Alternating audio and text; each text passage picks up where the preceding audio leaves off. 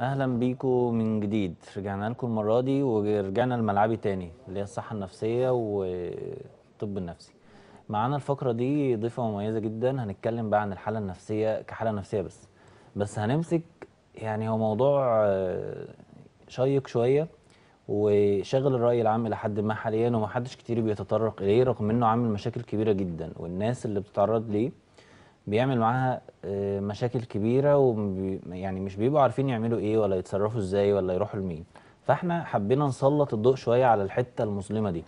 الأول برحب بضيفتي الأستاذة ياسمين عبد الحميد أخصائية نفسية ومعالج نفسي في المنصورة منورانا هنا النهاردة وجاية لنا من المنصورة. مخصوص أهلا بيكي. ده نورك يا دكتور ميرسي عاملة إيه؟ الحمد لله تمام. آه النهاردة يعني قبل ما ندخل في الموضوع إحنا المفروض نظبط الحالة النفسية عموما وقبل ما نظبط الحالة النفسية لازم نعرف الحاجات اللي بتبوظ الحالة النفسية.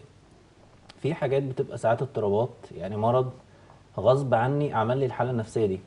وفي حاجات بتبقى بالفطرة كده اللي هو مثلا أنا شخصيتي عايزاني أعمل ده. فعايزين نفرق ما بين إن أنا عندي اضطراب وإن أنا شخصيتي عايزاني أعمل ده. ويا ترى ده معاه عذر ولا ده مع مش معاه عذر؟ هنتكلم النهارده عشان ما يعني احرق لكم مفاجأة بسرعة عن الاضطرابات الجنسية. ده موضوع طبعا يعني شيق وشائك وشغل الرأي العام في الفترة الأخيرة خصوصا بعد سرح جازي وحاجات كده يعني. فهنبدأ نتكلم ونوضح الموضوع شوية ببساطة ونعرف إيه أنواعه وإيه تشخيصاته. فابدأي بقى الأول والكلام هيجيب بعض هو الجدال دايما اللي حوالين النقطة اولا الموضوع حساس جدا. وللأسف إحنا دايما بنتبع ثقافة ال- النعامة. بنحب ندفن دماغنا في التراب. آه، ما بلاش بنحبش نتكلم عنه نواجه. آه آه ما ما بنحبش نواجه. الموضوع لحد ما نبتدي نلاقي مشاكل. وبالفعل المشاكل اللي من النوعية دي بقت موجودة وبقت منتشرة جدا في الفترة موجودة جدا. الأخرانية. بشوف حالات كتير منها يعني. جدا. أكيد عندك برضه. آه طبعا. فالفترة الأخرانية حصل الجدل بتاع سارة. حجازي و... وأصلا في جدل من قبلها هو الشذوذ الجنسي أو الجنسية المثلية دي هي مرض ولا انحراف ولا إيه مم. ودايما في جدل ناحية الموضوع إحنا نلعنهم ولا نتقبلهم. طبعا الغرب الموضوع بالنسبة لهم عادي. آه ولو هنتكلم بقى هو مرض ولا انحراف لما نيجي نعرف الشذوذ الجنسي أصلا أو عايزين نعرف يعني هو مرض. آه نبدأ ن- نمسكه كده بالبداية. هو يعني إيه وإيه أنواعه مثلا؟ تمام. هو لا هو مرض ولا هو انحراف. لا ده ولا ده. تمام. مش مرض لأنه مش حاجة معينة. المرض أكيد أنت عارف يعني المرض حاجة معينة في الجسم هي اللي فيها مشكلة. فالناحيه هو مرض ولا لأ فهو مش مرض. هو انحراف؟ لأ مش انحراف. لأنه بيبتدي مع الإنسان منذ الصغر. ممكن يبتدي يتكون الأفكار بتاعة الجنسية المثلية ممكن تبتدي تتكون من سن سنتين لأربع سنين. تمام. وغالبا الشخصية دي بتكون أصلا كانت شخصية أو الطفل ده لو بنتكلم عنه كطفل كانت شخصية حساسة محتاجة لمزيد من الرفق صح. والمع... والمعاملة اللي فيها احتضان وفيها هدوء آه وده وفيها عوامل تانية كمان بتأثر فيها آه زي علاقته بالأب والأم. وطبعا لو لو ميل لو ذكر هيبقى علاقته بالأب تحديدا. لو في. ميل علاقتها بالأم. والاهتمام طبعا اللي هو بيبقى مفتقد ساعات إن هو تعرض لاعتداء ساعات أو صدمة طبعاً ده جنسية ده آه. دور أو حاجة فعلا لما أنا كنت بكشف على أي حالة بسمع دايما عن حالة آه معظم اعتداء. المثليين فعلا دي حقيقة هو معظم المثليين معظمهم مش كلهم يعني مش مش كل حد اتعرض لاعتداء جنسي أو تحرش آه، بيتحول لمثلي مش ده مش أساسي بس هم فعلا معظمهم تمام. آه، آه، معظمهم اتعرض لاعتداء جنسي. هنرجع لكم فاصل قصير وكل الكلام ده هنتكلم عنه تاني وانتظرونا بعد الفاصل مش هنغيب عليكم. رجعنا لكم من جديد آه، في الفقرة الشيقة بتاعتنا دي آه، هنتكلم تاني عن ال- الكلام اللي إحنا كنا فيه قبل الفاصل. وعايزك تدخلي على طول تقولي لي يعني إيه أسباب الموضوع ده ويا ترى الموضوع ده حاجة ممكن نتكيف معاها ونعديها ولا دي حاجة لازم ناخد بالنا منها ونبدأ ندور على علاجها؟ يعني هي مرض هنعالجه ولا نسيبه كده وخلاص؟ فإيه أسبابها الأول وقولي لي هنعمل فيه إيه أسبابها إحنا قلنا أصلا إن منذ الطفولة ده كان طفل أصلا شخصية حساسة. فعموما الشخصية الحساسة دي بتبقى محتاجة معاملة برفق ولين وقرب. طبعا ولو ذكر هيبقى إحنا لما بنكبر شوية بنبتدي نقرب من العكس بقى. يعني طول الفترة الأولانية من حياتنا بنبقى ملتصقين بالأم أو قريبين من الأم مش عايزين نبعد عنها. بعد كده ال- الذكر بيبتدي يميل للأب لا، بعد ما بنعدي المرحلة دي وعايز أنفصل بقى وأكون شخصيتي. فيبدأ دي. بقى اللي عشان كده دايما بنقول إن الأب بيلعب دور مهم جدا جدا في الصحة الجنسية للأبناء الذكور تحديدا. والإناث برضو بس أكتر ال- الذكور. آه. لأن إن هو هو اللي بيعرفه يعني إيه إن أنا راجل عارف إزاي أصلا. يتعامل مع نفسه وشكله وجسمه. معاه ولما أها. بياخدوا معاه الجامع وشايف الجامع كل اللي فيه رجالة فهو خلاص عارف إن أنا مختلف عن أختي وعن آه، أمي. هويتي يعني. هويتي بيبتدي الأب هو اللي بيدي الهوية الجنسية. يعني- فلما بيبقى في اضطراب في العلاقة الأب غايب الأب مسافر آه، أو الأب موجود. ساعات الأب بيبقى موجود ومش موجود. في حاجة كده شائعة يمكن برضه عايزك تعلقي عليها إن هو ساعات لما يكون الأب مش موجود الأم مثلا ممكن تلعب ابنها مع بناتها آه. مع بنات الحارة مع بنات العيلة تلبسه لبس بنات زمان آه كان الموضوع ده منتشر قوي بنات على أساس طفل وهي مش فاهمة فده يعني في حد كان في حالة جات لي كان بيتكلم بيقول إن أنا من صغري أنا أصلا عايش مع بنات في بنات وكل حاجة كده. حصل- حصل. فدي لازم نفرق دي ولا حالات كتير منهم أصلا بتكون كده. وإن الأم بت- بتلبسه لبس بنات و- والناس ونضحك بقى واخدينها هزار و- ونعمل له قصة ونلبسه توكة ولا نحط له مانيكير. ما كل ده غلط أصلا. أو كمان في حاجة أخطر إن أنا أبتدي اخاطبه هو ولد وأنا أبتدي بخاطبه على إنه بنت. كنوع من أنواع الدلع. يعني بقى. كنوع من أنواع الدلع. أيوه طبعا ده غلط. الكلام ده. طبعا ده غلط جدا. لأن أنا من سن ثلاث سنين الطفل بيبتدي يستكشف نفسه ويبتدي يعرف إن في حاجة اسمها بنت وحاجة اسمها ولد. فأنا تمام. عشان أأكد الهوية الجنسية بتاعته لازم أتعامل معاه على إنه ولد. ما جيش. يبقى يبقى في حاجة محتاجة لغط. نيجي لموضوع تاني إحنا قلنا الأب لو مسافر أو وممكن بقى يكون موجود أو مش موجود. مش موجود إزاي؟ بمعنى إن هو أب عنيف. في مشاكل دايما بينه وبين الأم. آه. في آه هو أصلا عنيف مع الطفل. هقاطعك معلش جالنا اتصال نشوف أسماء. اتفضلي يا أسماء. اتفضلي يا أسماء معاكي؟ ألو؟ قطع ولا شغال؟ طيب تمام نرجع نكمل لحد ما أسماء ترجع تاني. شوف بتعمل إيه. طيب فهتبقى دي زائد كمان ال ال ال العلاقات ال- المؤذية اللي, اللي إحنا بنتعرض لها سواء في مرحلة الطفولة أو في مرحلة المراهقة. زائد ال- التحرش أو الاعتداء الاثنين ممكن يسيبوا نفس نفس المشكلة أو نفس الأثر النفسي مع مع الطفل. كل الحاجات دي بتأثر. طيب آه، هم في الغرب بيعترفوا بالمثلية وبيعترفوا بيعترفوا بزواج المثليين وأصلا كمان اضطراب المثلية الجنسية غير مدرج في دي اس ام 5 اللي هو تشخيص التشخيص العالمي للاضطرابات النفسية. هم مش دارجينه عشان هم مش شايفين إن ده آه، مرض. يعني تقريبا الاتصال رجع. إيمان؟ إيمان معانا؟ أيوه مع حضرتك. اتفضلي. إيه حضرتك أنا عندي 23 سنة. 29 كنت م- 23 23 بعدين؟ آه وكنت وأنا كنت مخطوبه آه، حصل ظروف كده وكتبت الخطوبه تمام.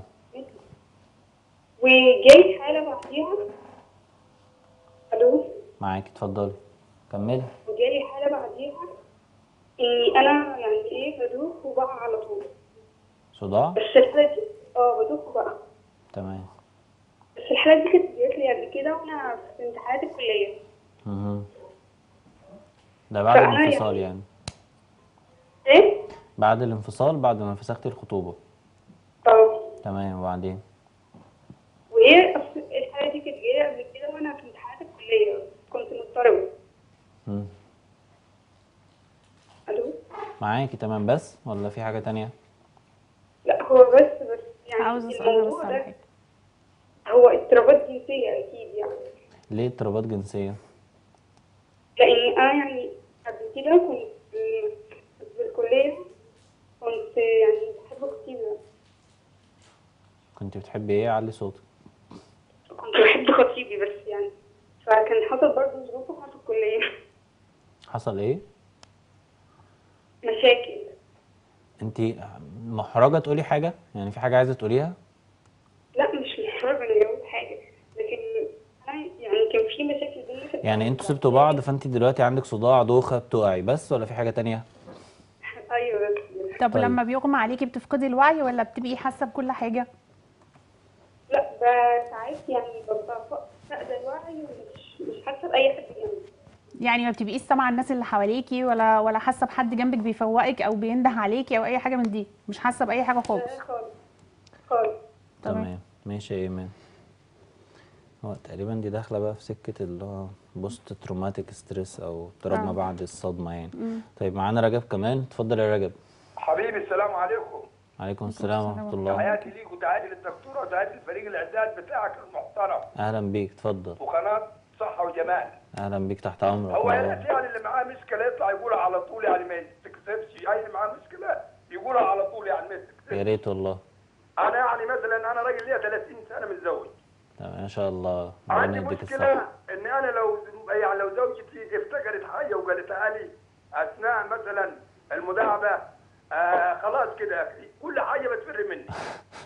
فعاوز علاج ليها. بصراحه طيب ما هو أنت هي كده عملت آه، قط يا حاج رجب كده الموضوع وقف هنعيد من الأول. طب ملوش علاج يا دكتور. ليك ولا ليها؟ يا دكتور ليه؟ هي الدكتورة تقول على علاج. ليها ولا ليك ما ليه أنا ببطل خلاص بطلت طيب خلاص حاضر. شكرا يا حاج رجب. طبعا سؤال يعني لذيذ جدا يعني. هو أصلا أنا ما سمعتوش أصلا كويس يعني. واللي أنا فهمته إن هو أثناء المداعبه والعلاقة الجنسية تقريبا آه. هي بتفتكر حاجة تقريبا مشاكل أو بتتكلم في حاجة فبتفصله. ولا آه. خرجوا من ال mood يعني. فهي فدي- هي كده ممكن يكون عندها trauma أصلا. ممكن مم. تكون trauma. من آه آه ممكن يكون عندها trauma من حاجة معينة من الجماع أو في أها. مشكلة معينة يا إما فعلا انكزايتي قلق من الم... من الجماع أصلا أو بيحصل إيه؟ لها آلام آه. أثناء الجماع تقولي لها إيه يعني عشان- هتروح الأول عند طبيب نساء نتأكد إن مفيش مشكلة عضوية مفيش التهابات أي مشكلة عضوية بقى دي ده مش مش تخصصنا آه، نتأكد مفيش مش مشكلة عضوية آه، لو في مشكلة عضوية طبعا هيبقى ليها علاج وأدوية وهنتعالج لو مفيش مشكلة عضويه يبقى هي سبب نفسي زي ما أنا قلت لك كده. يا إما دعم نفسي بقى آه آه يا إما قلق يا إما هي عندها مشكلة آه، نفسية أو تروما تخص الجماع أو تخص تمام. تخص الحياة إيمان بقى السؤال اللي قبله اللي هو الصداع والدوخة وإنك بتوعي إيمان ده غالبا هيحتاج دعم نفسي أو نشوف أنت لسه بتفكري في الموضوع كتير وشغلك وبتاع فبيأثر عليك. محتاجة تتعلم إزاي تتخلص من تواجه العلاقة دي المشكلة. آه وتعرف إزاي تبني نفسها من أول وجديد. طيب نرجع للي إحنا كنا بنقوله. إحنا قلنا في أسباب للحاجات أو للاضطرابات الجنسية زي التروما زي سوء التربية أو الانفصال أو آه، كده. في حاجات بين تانية؟ والمشاكل الأسرية. إحنا كنا بنتكلم في نقطة إيه؟ إن هو الغرب بيقولوا إن هو مش مرض وإن ده التوجه الجنسي. هو ثقافتنا هنا بتقول إنه مرض يعني. آه بص المرض إحنا قلنا هو مش مشكلة معينة في الجسم ولا في بس في نفس الوقت ما فيش جينات أو كروموسومات أو حاجة في الجسم آه بتدل أو بتشير أو منطقة معينة في المخ مسؤولة عن المثلية. آه لما فرويد جم سألوه عن الموضوع ده رأيه في الموضوع قال إن إحنا أصلا كلنا لما بنتولد بيبقى عندنا الاتجاهين عندنا اتجاه الغيرية وعندنا اتجاه المثلية. ف... ف... وال... والتربية ناخد والبيئة. اتصال أنا آسف. ناخد اتصال لأن الحلقة جامدة. طه من سوهاج اتفضل. أيوه لو سمحت آه، كنت عايز أسأل آه، بالنسبة للاضطرابات الجنسيه والضعف آه، اتفضل.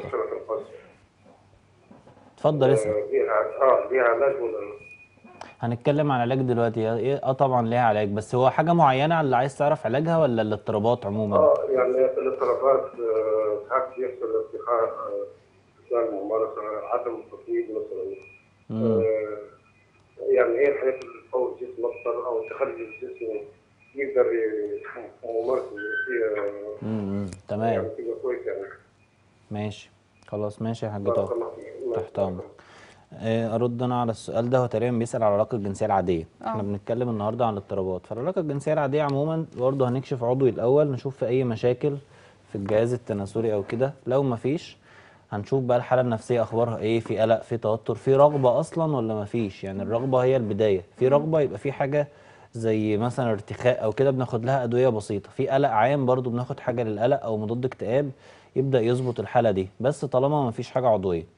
فيتامينات بقى ومنشطات دي موجودة كتير يعني ودي طبعا محتاجة لما إن شاء الله نشوفك يا حاج رجب هنكتب لك ال- حاج طه أكتب لك الحاجات دي إن شاء الله بس الموضوع مش صعب إن شاء الله نرجع تاني للاضطرابات عشان نلحق نوضحها تمام وعايزين برضه نركز على علاجها ويا ترى نروج لها وندافع عنها ولا نقول يا جماعة لا ده مرض. خدوا بالكم أو لا مثلا ده. اضطراب ما ينفعش ندافع عنه طيب إحنا قلنا إنه أصلا ما فيش حاجة في الجسم لا جينات ولا منطقة في المخ مسؤولة عن موضوع الجنسية وإن إحنا أصلا بنتولد بفطره بفطرة الاثنين الغيرية اللي هو العادي بين ست وراجل ال- الجنس بين ست وراجل وبنتولد برضو بالمثلية.